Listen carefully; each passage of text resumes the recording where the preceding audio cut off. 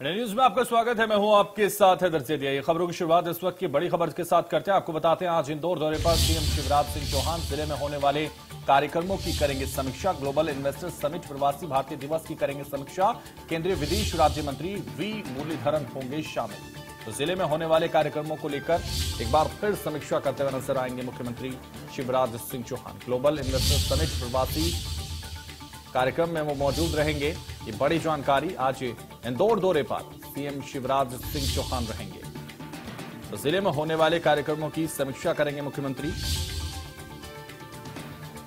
और global investor summit प्रवासी भारतीय दिवस की समीक्षा करेंगे मुख्यमंत्री। केंद्रीय विदेश राज्य मंत्री वी मुरलीधरन भी शामिल होंगे।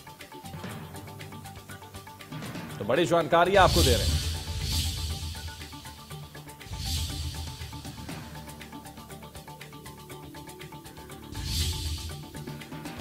ज़्यादा जानकारी के लिए हमारे संवाददाता इस वक्त नाज पटेल हमारे साथ जुड़ गई हैं। नाज, आपका रुख करेंगे और आपसे समझेंगे जिस तरह से आज इंदौर दौरे पर मुख्यमंत्री शिवराज सिंह चौहान रहेंगे और ये जो इन्वेस्टर समिट होने जा रही है, इसको लेकर क्या जानकारी आपके पास?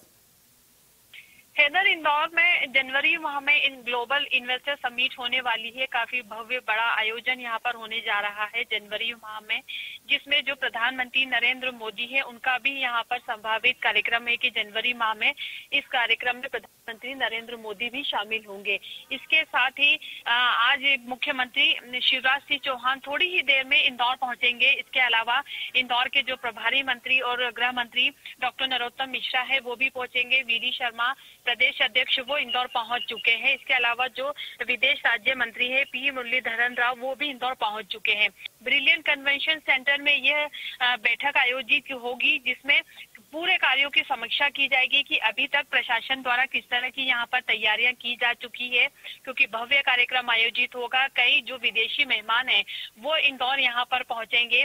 उनके रुकने की व्यवस्था की यहाँ पे कार्यों की समीक्षा की जाएगी कहाँ घुमाया जाएगा इसके अलावा किस तरह की तैयारी है मध्य प्रदेश के बारे में उनको जा, जानकारी दी जाएगी कि मध्य प्रदेश में बीजेपी सरकार में अब तक कितने और बड़े स्तर पर कार्यक्रम किए गए हैं यहाँ पर। इसके अलावा जो संभावित जो प्रदेश सरकार के प्रोजेक्ट हैं उसके बारे में बताया जाएगा। क्योंकि इंदौर स्वच्छता में छह बार लगातार नंबर वन रहा है तो निश्चित ही इसके बारे में भी यहाँ पर विदेशी मेहमानों को बताया जाएगा।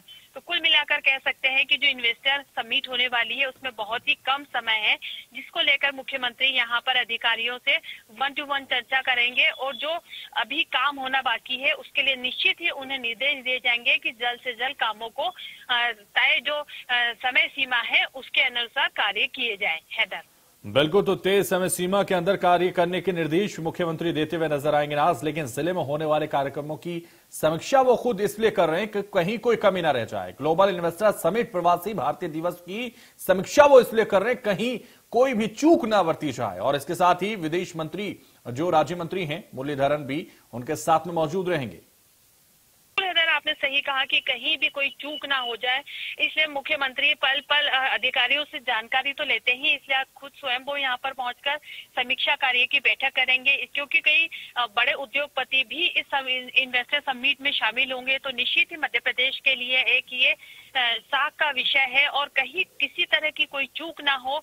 मध्य प्रदेश में जिस तरह से लगातार विकास कार्य हो रहे हैं, उन विकास कार्यों को भी यहाँ पर बताया जाएगा। और सबसे बड़ी बात यह है कि जो उद्योगपति आएँगे जो विदेशी मेहमान आएँगे, उनसे ज़्यादा से ज़्यादा मध्य प्रदेश में यहाँ पर उद्योग लगाने के लिए वन टू वन चर्चा की जाएगी। एमओयू भी यहाँ पर करोड़ों रुपए के साइन होने की संभावना है। तो निश्चित ऐसे में मध्य प्रदेश एक नई इबारत लिखने जाएगा। विकास की ग्लोबल इन्वेस्टर समिट जब होगी तो उससे मध्य प्रदेश को काफ़ी लाभ होगा और मध्य प्रदेश विकास के, को लेकर एक नई राह पे चल पड़ेगा, एक नई इबारत लिखने के लिए तैयार है। नाज बहुत शुक्रिया हमारे साथ जुड़ने के लिए तमाम जानकारी हम तक पहुँचाने के लिए।